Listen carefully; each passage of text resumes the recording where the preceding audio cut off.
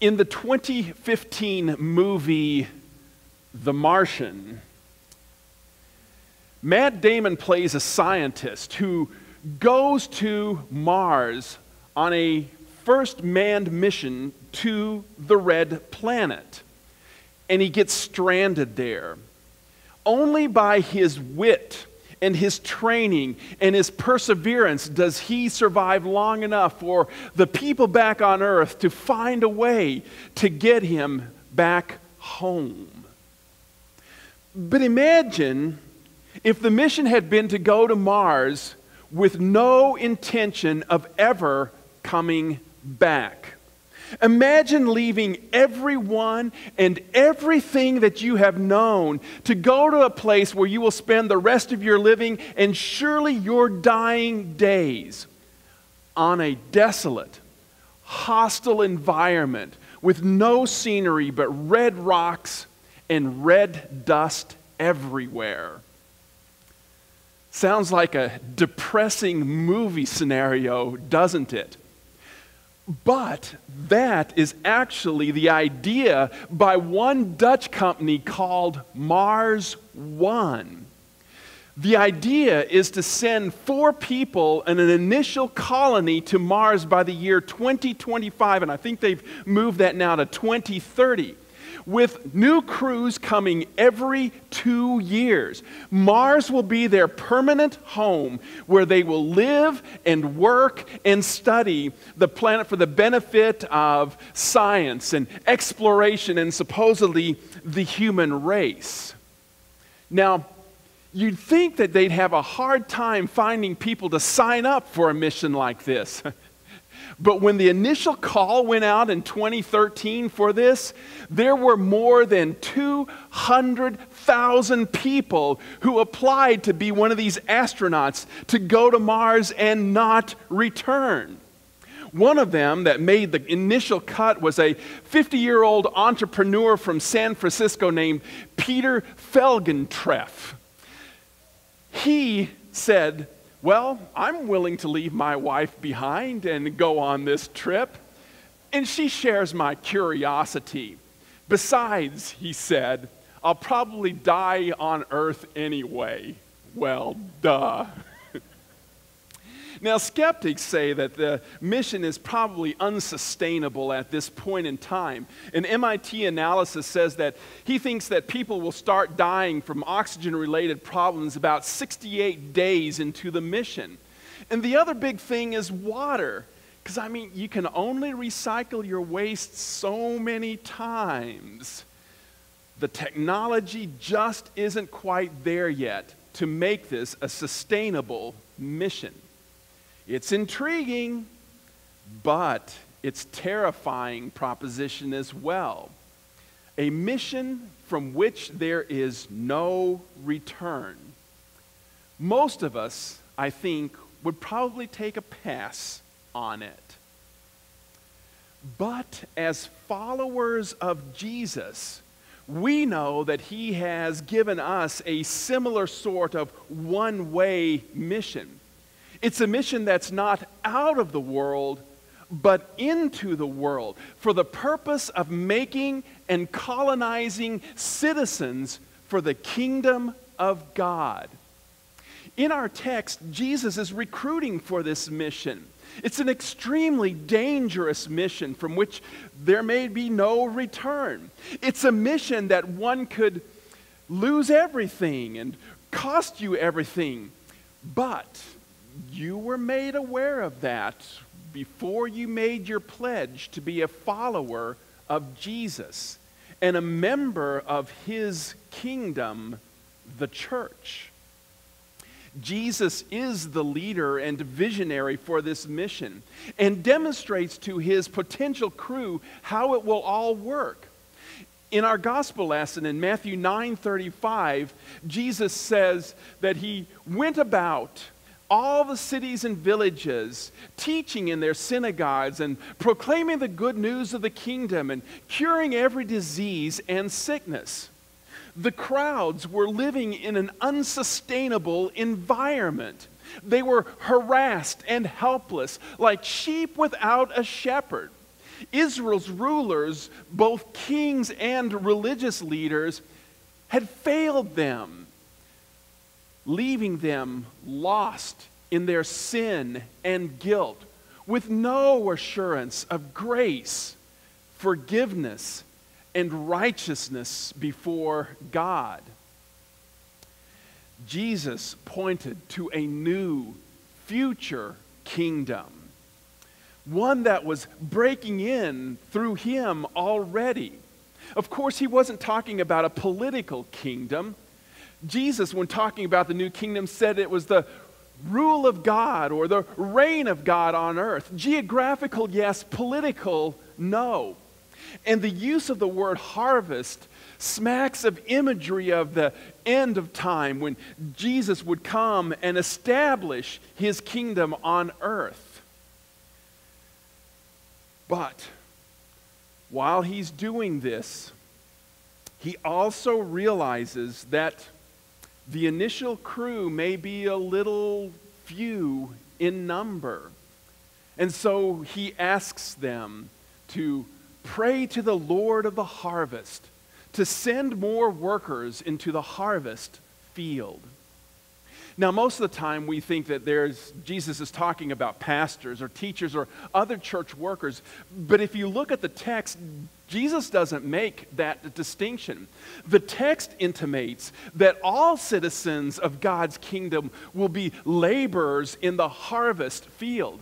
Jesus' prayer was and continues to be a call that could lead to a one way mission, a one way ticket. But the destination for us is not a hostile, desolate environment. It's the kingdom of God, eternal life, communion with our Redeemer. And there's nothing frightening about that proposition.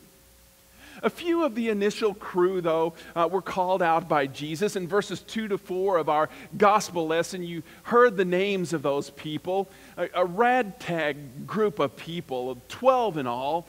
Um, simple fishermen, a tax collector, a revolutionary, a, a loudmouth, and even a shifty betrayer among them. Jesus gathers them together to teach them the skills that they're going to need. He gave them authority over uh, gave them authority over unclean spirits and to cast them out and to cure every disease and sickness. These, he says, are the skills necessary to bring the kingdom of God, the physical and spiritual healing that is a part of the new world order the physical and spiritual healing that will be total and complete when Jesus comes again at the end of time. They had been with Jesus for quite a while, and now it was time for vicarage. Time to put some of their skills and knowledge into practice. And so, before sending them out on their mission after his ascension and Pentecost, he sends them out on a training mission. Sort of like how Mars One has set up a fake planet on which they can work and test their skills and see how they handle working in under such conditions. This training mission, the short term mission trip that Jesus sends them on, was designed with several components. First, it had a specific target. Remember in the gospel lesson, Jesus says, Don't go to the Gentiles and the Samaritans. Your target right now is the lost sheep of the house of Israel. You'll get to those other people later. It had a specific goal. The goal was to proclaim the good news of the kingdom, that the kingdom of God had come near that this good news was, would be a glimpse of what the world would be like through the curing of some diseases and the casting out of demons. It had a sustainability plan. We might expect the disciples to do a lot of logistical planning, but Jesus says, don't take gold or silver or money along with you. you're going to depend upon the hospitality of strangers. No extra clothes, no extra tunic, nothing. When you go into a town, depend on the hospitality of strangers, which was a way of God saying, you're going to learn to depend upon God's goodness for your life. And then it also had a realistic picture of the future. This mission is a dangerous one. This training mission would give them just a small taste of what was to come. They were going to be as sheep among the wolves. They will face danger from hostile winds, both religious and civil authorities. All this they would face and more. And all of the 11 of those 12 disciples eventually go on this world mission tour, one in which they wouldn't return. Most of them were killed in horrific ways. Some were exiled and banished from the people and the world that they knew and loved. But despite the risk, they went because they, like us, had seen and heard and believed the good news of Jesus.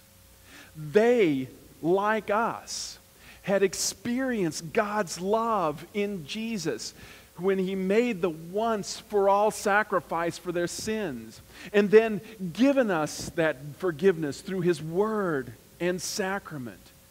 They, like us, have been empowered by the Holy Spirit, poured out on Pentecost, and now exhibited in the deeds and the telling of the story of the good news of Jesus, growing God's kingdom.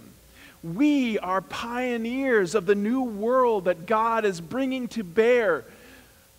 Colonists of the kingdom of God who then can point the way to others by our teaching and our example. This is the church's mission offered to us the church of Jesus Christ. But you and I kind of live in a different world than what those initial crew people live in. They faced physical dangers and uh, opposition from rulers. The problem that we face is almost opposite of that. Because for us, the church is a safe and secure place from which we often use as a shield to look from behind at the darkness and trouble of the world. We think more of the church as that safe place that we gather with like minded people, and it's a temporary asylum from the troubles of the world. We see the church as a safe harbor, not as a training place uh, and a launching pad for the mission into the world.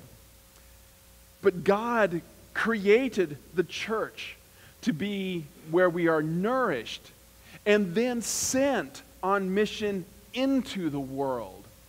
And since this is God's intent for the church, perhaps we ought to ask ourselves those same questions that were posed to the disciples Who is our target?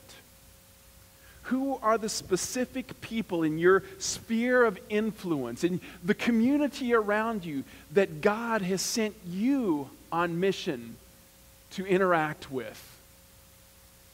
What is your goal? What is our goal?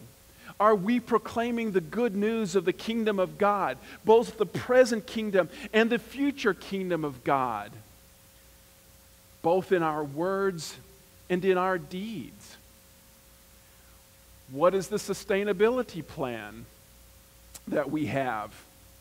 Are we hoarding the resources that God has given us? Sustaining the church as an institution? Or are we depending on God's daily bread for us and sharing our resources with those in need? What are we willing to risk? Are we willing to risk being at odds with the culture because of our faith? Are we willing to risk ridicule and persecution because we proclaim Christ and minister in ways that reflect His kingdom? Signing up for the Jesus mission can be a one way ticket. The only promise that Jesus gave his disciples was the promise of a cross. And you know that a cross is a one way journey. It is a one way journey from which there is only one return resurrection. And the Lord of life, who has conquered death, is the only one that can make resurrection happen. As he put it, whoever does not take up the cross and follow me is not worthy of me. Those who find their life will lose it. Those who lose their life for my sake will find it. 200,000 people are ready, so they say, to board a spaceship to Mars with no hope of return. Felgentreff says it's a risk worth taking because sometimes the outcomes are worth it. Jesus says there's no risk more worth it than the mission of the kingdom. And now may the peace of God, which surpasses our human understanding, keep your hearts and minds in Christ Jesus our Lord. Amen.